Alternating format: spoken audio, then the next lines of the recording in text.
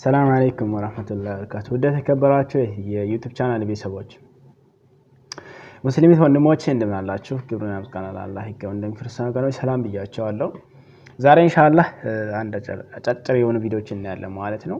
ቅድም live ላይ እንደተናገርኩት አንድን ሰው block ማድረግ ከፈለገን እንዴት አድርገን ነው block የምናደርገው የሚለውን እዚህ ጋር መጀመሪያ block ማድረግ የፈለጋችሁትን ሰዎች ትገቡና ቻናል ላይ profile ኡ ጋር ትነካላችሁ። በደንብ ዩት እዚህ ጋር ከዛም ከላይ ሶስት ነጠብጣብ አለች። ያችን ሶስት ነጠብጣብ ትነካላችሁ። ከዛም ያንን ሶስት ነጠብጣብ ከነካችሁ በኋላ block የሚል ይመጣል። ያንን block ካደረጋችሁ ሁለተኛ ይመጣል ማለት ነው። ሌላም ዘዴ ያለ ኢንሻላህ ይህንን ከተረዳችሁት block ማድረግ ባጭሩ ይሄ ነው ማለት ነው።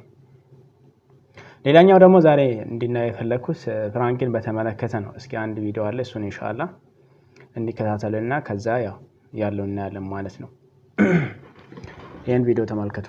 مقلب بفايز الكل شاف مقلب الموت اللي عملته فيه هذيك المرة وشو صار فيه عن جد انا بعتذر منك اخي انت هلا اكيد بدك تشوف هذا الفيديو عن جد انا اسف جدا بس هذا حيكون اقوى مقلب من اللي قبله مثل ما شايفين نحن وين هات العده زكاتها እና ፍራንክ ነው ጉድጓድ ሊቆፍሩ እርስ በርስ እየተመካከሩ ነው ማለት ነው። ከዛ በቆፈሩት ጉድጓድ ላይ ያኛው መሀል ላይ ያለው ይገባል። ነጭ ለብሶ ምናምን ሆኖ ይገባል። ፍራንክ ነው በነገራችን ላይ መጨረሻው ምን እንደሆነ እስኪ እናያለን ማለት ነው። ብቻ ያው አላፈለፍ እያለን እንሻለን። አሁን ቆፍረዋሉ ያው እየቆፈሩ ነው። ከዛ ያ ውስጡ ላይ ገባ እንበል። ያው ልጁ ሊገባ ነው ውስጥ ላይ already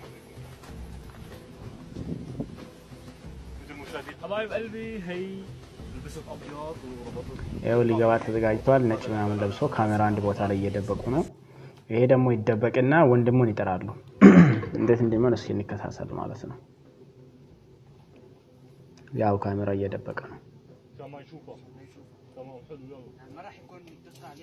يطلع راح يجي هيك وخبيها انت بين عشب مع عشب وهالقصص هي واحد حلال عليك خبيها يعني بحيث انه ما يشوفها أحسنت. حلو، حلو. حلو. تمام وهي حبايب القلب الحفرة جاهزة أنا አሁን ውስጥ ሊገባ تتابعوا الفيديو حبايبي هيك بكون ثبتنا الكاميرا تمام وين ثبتنا الكاميرا حبايبي؟ تمام. طبعا نحن مقطعين هيوسي يا جماعة الخير شوي عم يغطوني يعني على سالبة في تولاي مع لسنا يعني عن جد نهاية الإنسان هي لحوم سبحان الله. ما بعرف شو بدي لكم يعني هلا الشعور اللي عم بشعره أنا ما حدا بيحسن إلا اللي بجربها يعني. ميتين صار يكونوا بأحلى الله عيني هاي هاي الناس كلها. هاي هاي نهايه يا ترى كيف راح تكون ردة فعل فايز الله يرحمك يا اخي الله يسلمك بسم الله الفاتحه በቃ አሁን እንደዚህ ሸፍነዋሉ። በቃ ወንዱ ይመጣል። መጨረሻ ላይ ፋይዝ መጣ ነው የሚለው ማለት ነው። እስኪ አሁን እየመጣ ነው ልጁ።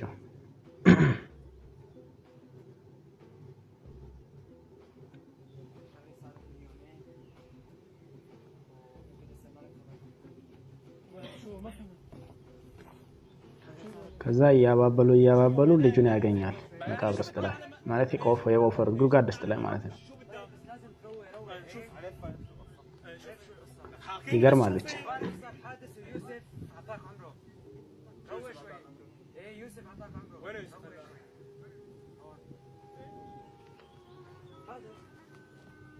ያው አገኘ።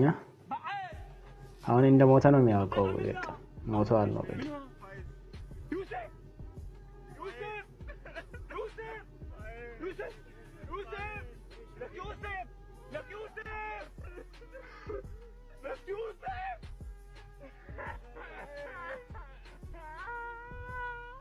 ወንድሙ ነው ያኛው። እንደዛ የሚሆነው ኦልሬዲ ያ እንደ ቦት ሆነዋል ማለት ነው።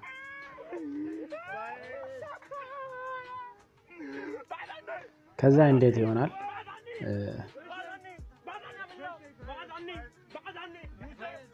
እያለቀሰ ነው የሚጮሩት። በውሸት ማስለቀስ የሚባለው ይሄ ነው። በዚህ ነው ሰዎች ቢዚ ሆነው የሚኖሩት ማለት ነው።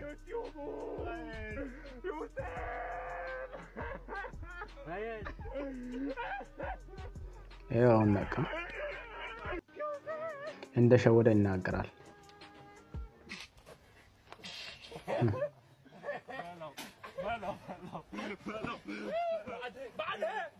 ተመልክተውን ምን እንደሚከሰት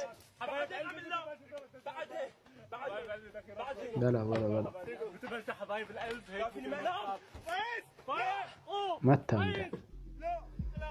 አሁን በቃ የቀረ ሀኪም ቤት ነው።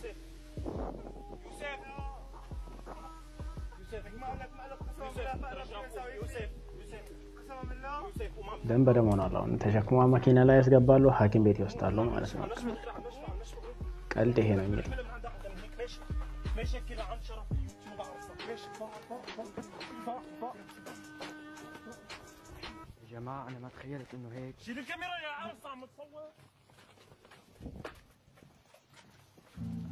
يا جماعة ما تخيلت مستحيل ما توقعت إنه هيك رح يصير يا حرام فوق فوق فوق عندك من راسك دنبرة مانيا السريع السريع السريع السريع السريع تعال من هون روح روح من عنده روح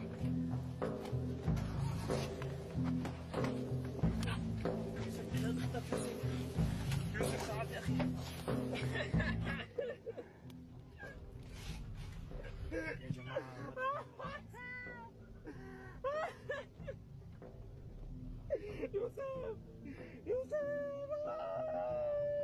ብቻ እንደዚህ እየሆነ ይሄዳል። ሐኪም ቤት ይገባሉ። ከቀናት በኋላ ይሆናል ያው ታክሞ ይወጣል። ሰላም እንዲሆነም ተናግረዋል። በእርግጥ ይሄንን ለምንድን ነው ያመጣሁት? ቀልድ ይሄ ነው ማለት ነው። ይሄንን በእርግጥ እኔ ዛሬ ሳይሆን ያየሁት ቆይተዋል። ያው እዚህ ጋር እንድታዩት አስቀምጣለሁ screen ላይ September 30 2019 መሰለኝ እንደዛ አይነት ነገር በፌስቡክ ላይ ለቀቅ ነበር። ዛሬ ለእናንተ ብዬ ነው ከዛ ፈልጌ አውርጄ እንደገና እንትን አደረኩት ማለት ነው። እና ያው ቀልድ ይሄ ነው፣ በውሸት ሰውን ማስለቀስ።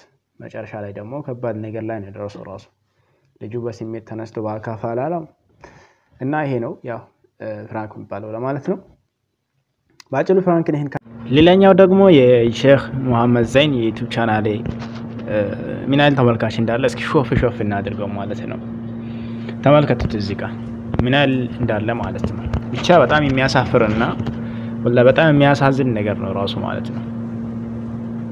ተመልከቱት እንግዲህ አንድ ሺህ ሰው የሞላ አለ እንኳን በእይታ ሰባ ሀያ አምስት አስራ ሁለት ምናምን ከናካቴ ያልታዩ አለው ቪዲዮ ማለት ነው። ለምንድን ነው ግን ይሄ ይሄ የሆነው? እኛ ባልሆነ ነገር ላይ ተጠምደን አይደል?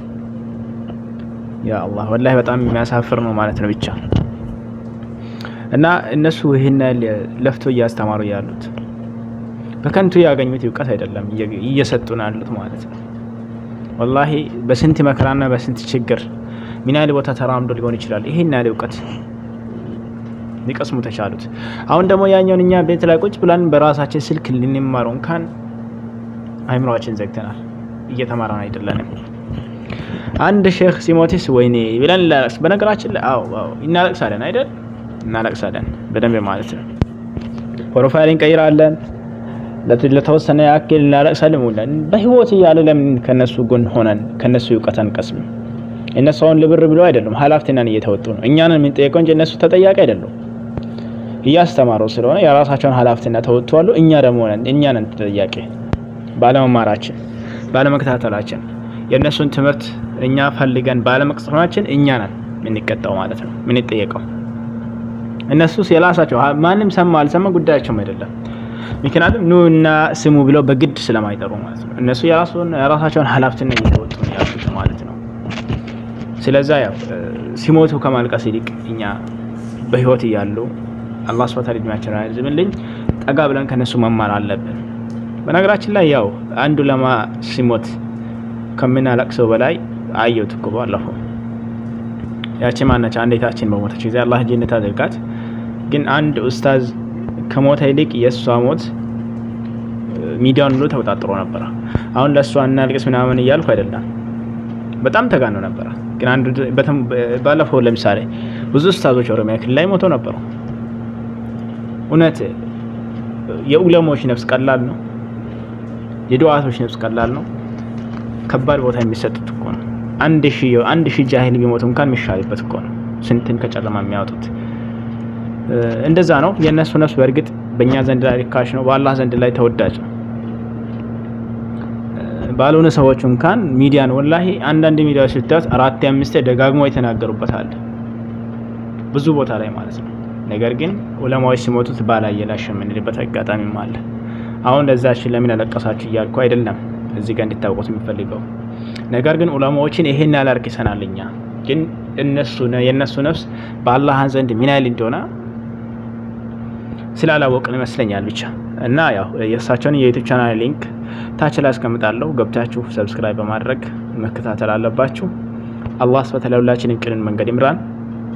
ከጠማ መንገድ አላህ ሱብሃነሁ ወተዓላ ይጠብቀን። ሀቅን እንደ ሀቅ ያሳየን፣ ባጥልን እንደ ባጥል ያሳየን። ከባጥል የምንከለከል አላህ ያድርገን። ወሰላሙ አለይኩም ወረሕመቱላሂ ወበረካቱ።